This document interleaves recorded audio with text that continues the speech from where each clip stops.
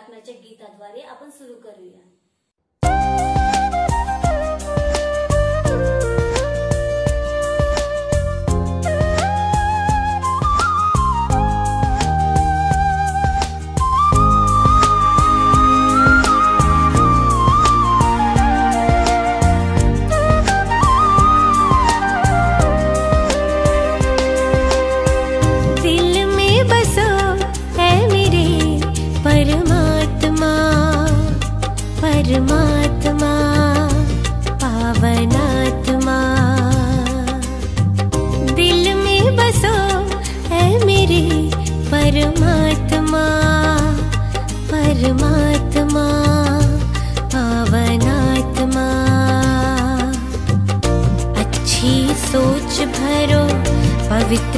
करो आत्मा अच्छी सोच भरो पवित्र करो आत्मा।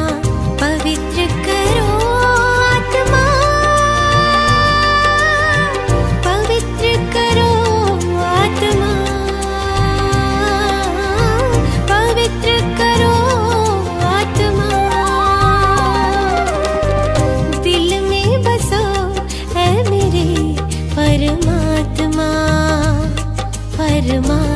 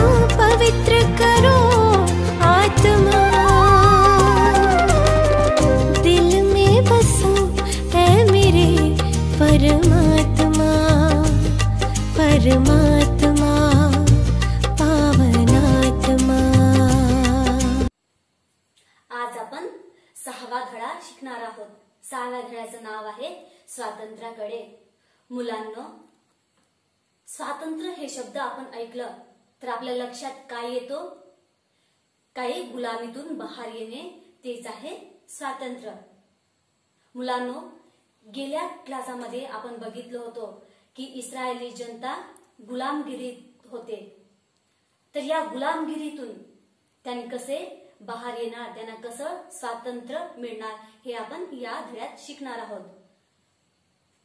जसे दिवसोंदिवस इस्रायल लोकांचं हे गुलाम गिरीत असतावेळेस असं त्यांचा दिवस चालला जात होता. आणि मोशे परमेश्वराकडे आपल्या जनतेसाठी प्रार्थना करीत होता. तेव्हा परमेश्वर मोशेला म्हणतो मी जी आज्ञा तुला दिलेल्या आहेत ते आज्ञा तू आणि तुझा भाऊ अहरोन जाऊन फारोला जाऊन सांग. तर आपण बघितलं होतं की मोशे एक बोलका नव्हता. तो बोलू शकत नव्हता. त्याच्यासाठी अहरोनाला पाठवणार. तर मोशे अहरोनाला सांगतो आणि अहरोन आणि मोशे जाऊन फारो जवळ जातो आणि जाण्याच्या अगोदर परमेश्वर म्हणतो की अहरोनाला तू जाऊन सांग की तुझ्या हातातली काठी खाली टाक फारोच्या जवळ. तर त्या काठीवरून साफ होणार. जसे परमेश्वराने सांगितले तशाच रीतीने त्याने जाऊन फॅरोच्या समोर ला- लाठी टाकली. तेव्हा लाठीवरून साप बनला. तशाच प्रकारे फॅरो सुद्धा मन मंत्री तंत्र्यांना बोलवून त्यांनी सुद्धा तशाच प्रकारे केले तर त्यांचं पण साप बनलं. तर अहरोनाचं जे लाठी होते ते त्यांच्या लाठीना खाऊन टाकलं. तरी पण हे सर्व काही दाखवल्यानंतर सुद्धा फॅरोचं मन कठोर होत चालला गेला. तेव्हा फारो अहरोन आणि मोशेचा ऐकला नाही आणि इस्रायल जनतेला पिता परमेश्वराचं आराधना करण्यासाठी पाठवले नाही. तेव्हा पिता परमेश्वर एका मागे एक दहा पिढा मिसर देशात पाठवले. पहिला आहे रक्ताची पीडा.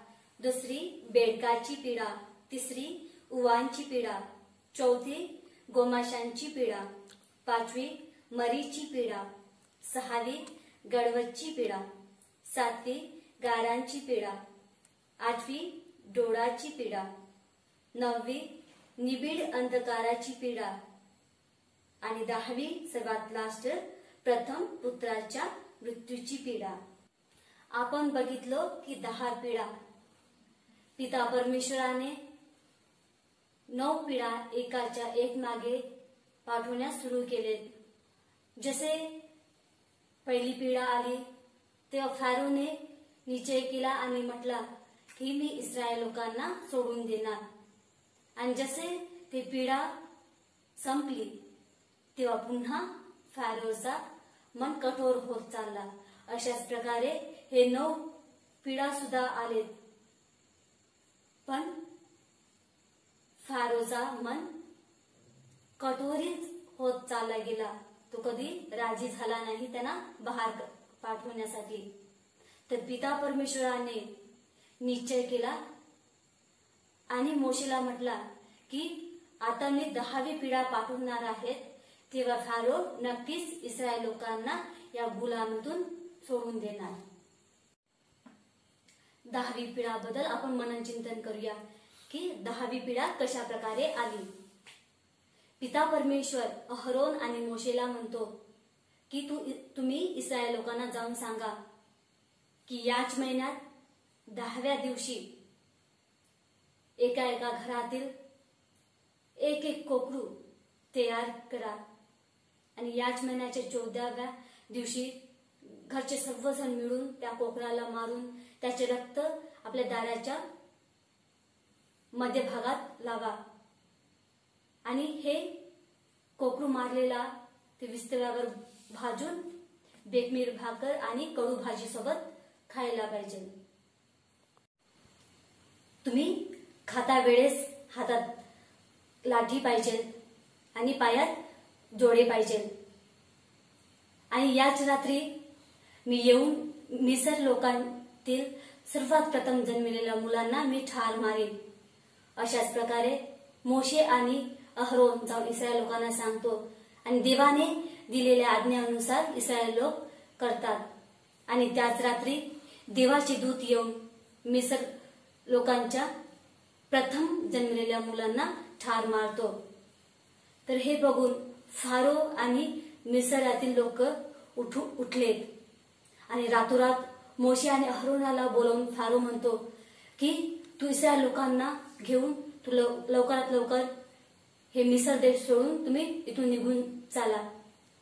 तर इस्रायल लोक सर्व लवकर लवकर त्यांनी तयार होऊन त्यांना जे काही हवं होतं सोने चांदी दाहिने सर्व मागितले आणि जे काही यांनी मागितले फारूनी सर्व काही त्यांना दिले. इस्रायली लोक वेळ न घालवता त्यांनी पायी पायी आपला प्रवास सुरू केलेत. त्यांच्यासोबत शेरडे मेंढे म्हशी सुद्धा त्यांच्यासोबत होते. जसे त्यांनी समुद्रापाशी पोहोचले तेव्हा त्यांनी विचार केला की थोडा वेळ आपण विश्रांती घेऊ. नंतर आपण समुद्र पार करू. तर त्यांनी विश्रांती करता वेळेस त्यांचं लक्ष असं साईडला जातो. तेव्हा त्यांनी बघतो की फारू आणि फारूचे सैन्य येत आहे कारण की जसे इस्रायल लोकांना यांनी पाठवून दिले. तेव्हा फारो आणि त्यांच्या मनात असं वाटलं की आम्ही इस्रायल लोकांना पाठवून दिलो. पण आता आमच्यासोबत काम करण्यासाठी कोणी राहणार नाही. तर फारो आणि त्यांच्या सैन्याचा मन बदलून जातो आणि त्यांच्या मागोमाग चाला जातो. एवढा कठोर तो फारो होता. पण आपला देव पिता परमेश्वर असा नाही की पिता परमेश्वर इस्रायल लोकांसोबत होता आणि त्यांना वाचवण्यासाठी मोशे परमेश्वराशी प्रार्थना के- केलं. तेव्हा परमेश्वर म्हणतो की तुझी तुझ्या हातातली लाठी तू समुद्रावर ठेव.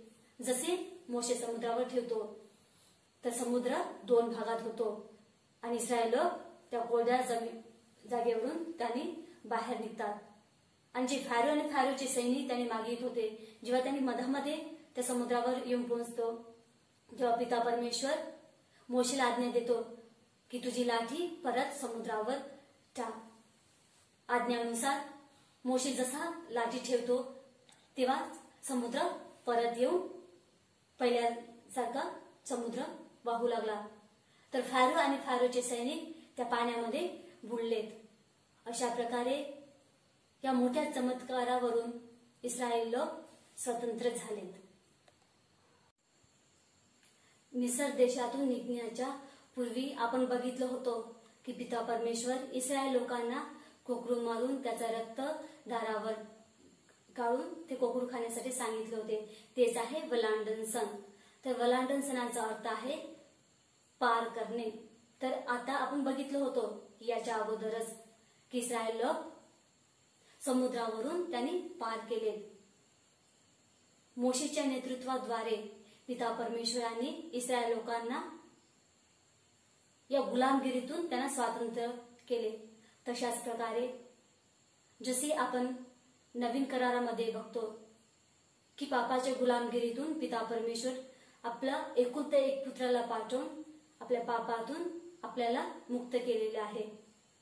तर जसे पिता परमेश्वर इस्रायल लोकांना स्वातंत्र्य दिले तशाच प्रकारे प्रभू येशू आपल्या स्वतःचं जीवन अर्पण करून आपल्याला पापातून वाचवले. तर मुलांनो आपण पिता परमेश्वरावर प्रेम केलं पाहिजे आणि त्यांची आज्ञा पाळण्यासाठी आपण प्रयत्न केलं पाहिजे. मुलांनो तुम्हाला समजलं की इस्रायल लोकांना कसं स्वातंत्र्य मिळालं? तर आजचं तुम्हाला होमवर्क आहे. दिलेले सहा प्रश्नाची उत्तर लिहायचे आहे. आणि आपल्या पुस्तकात दिलेले दहा घटना आहेत. तर ते घटना त्या घटनेनुसार क्रमांक लिहायचे आहेत. तर आपला क्लास आपल्या पुस्तकात दिलेल्या गीताद्वारे आपण समाप्त करूया. एक दिवस निघून गेला हर्षित मनाने समोर गेला. गुलामी स्वतंत्र होण्यासाठी गुलामीतून पार होण्यासाठी गुलामीतून पार होण्यासाठी देवाने नेले ला समुद्रावर दिवस रात्र मार्ग बनविला. अळी अडचण दूर सारिले भोजन देण्या मार्ग उघडला. भोजन देण्या मार्ग उघडला. जाण्याच्या दिवशी हे ठरले दरवाजावर रक्त शिंपडिले. परमेश्वराचे प्रभाव हेच आहे परमशक्तीचे प्रगटीकरण आहे. परमशक्तीचे प्रगटीकरण आहे. एक दिवस निघून गेला हर्षित मनाने समोर गेला एक दिवस निघून गेला हर्षित मनाने समोर गेला